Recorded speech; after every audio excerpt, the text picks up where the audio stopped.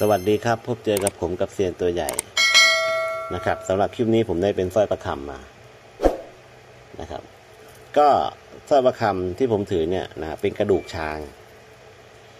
นะครับ เป็นกระดูกช้างสร้อยประคำกระดูกช้างเนี่ยนะครับ ถ้าถ้าพูดถึงแบบรวมๆดีกว่าเนาะถ้าแบบรวมๆก็จะมีสองเกจิที่เราพูดถึงกัน ก็จะมีหลวงพ่อฤาษีดิงดำกับหลวงพ่ออุตตมะนะครับ บางทีก็แยกกันยากเหมือนกันนะครับ บางทีก็แยกกันยาก นะครับถ้าสร้อยเส้นนี้สวยนะนะครับ ไม่ได้ใช้เลยนะครับดูจากเชือกได้เลยเชือกจะขาวๆเห็นไหมครับ คือพวกกระดูกช้างพวกนี้ถ้ามีการได้ใช้ถ้ามีการได้ห้อยเนี่ยนะครับ ก็จะออกโซนออกเหลืองๆช่ำๆเหมือนกันนะ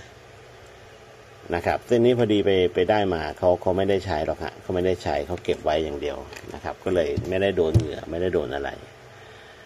นะครับ ช้างเนี่ยนะครับ ไม่ว่าจะเป็นส่วนไหนของช้างเนี่ยพุทธคุณเนี่ยนะครับ เด่นเกี่ยวกับทางด้านอำนาจอยู่แล้วฮะนะครับ ช้างนี่เป็นสัตว์คู่บ้านคู่เมืองอยู่แล้วนะครับ นี่เป็นกระดูกครับ นี่เป็นกระดูกนะครับ เราต้องแยกกระดูกกับงาให้ออกจากกันให้ได้นะครับ คือบางท่านอาจจะเข้าใจว่าเป็นงาอะไรมาเนี้ยนะครับจริงๆแล้วนี่เป็นกระดูกช้างนะครับ เป็นกระดูกนะฮะ นะครับแต่ถามว่าเป็นกระดูกหรือเป็นงาดีไม่ดีครับ ให้มีใช้ดีทั้งนั้นแหละนะครับ ให้ดูเป็นให้ดูเป็นให้ดูเป็นของธรรมชาติให้ได้เนี่ยนะครับ แยกระหว่างเอ่อเลซินให้ออกอะไรประมาณเนี้ยนะครับเส้นนี้สวยนะครับ ก็ผมก็ตีได้สองที่นั่นแหละนะครับหลวงพ่ออุตมะนะครับกับหลวงพ่อฤาษีดำนะครับในนี้ผมขออนุญาตนะครับ ตีเป็นทางโซน หลวงพ่อฤาษีอิงดำแล้วกันนะครับ เพราะว่า เพราะว่าผมได้มาแถวเนี้ยนะครับ ผมได้มาแถวนี้นะครับ ก็เลยขอตีเป็นทางหลวงพ่อฤาษีอิงดำนะครับ ก็เป็นสร้อยประคำนะครับสร้อยประคำกระดูกช้างหลวงพ่อฤาษีอิงดำวัดท่าสูงจังหวัดอุทัยธานีนะครับ เพราะว่าผมได้แถวนี้บ่อยนะครับ ผมได้แถวนี้บ่อยนะฮะแต่ก็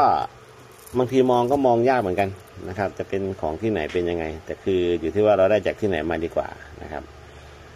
ทีนี้ผมได้มาแถวนี้ผมก็เลยตีลงทางหลวงพ่อฤาษีลิงดำเนาะนะครับก็เป็นสร้อยประคำหลวงพ่อฤาษีลิงดำนะฮะเป็นกระดูกช้างนะครับพุทธคุณนี่ไม่ต้องพูดถึงนะครับ ดีอยู่แล้วครับอะโอเคสำหรับคลิปนี้ไว้เท่านี้นะครับคลิปหน้าเจอผมใหม่นะครับขอขอบพระคุณนะครับสำหรับการติดตามรับชมรับฟังนะครับฝากกดไลค์กดแชร์กด subscribe ผมด้วย นะครับอะขอบคุณมากครับ สวัสดีครับ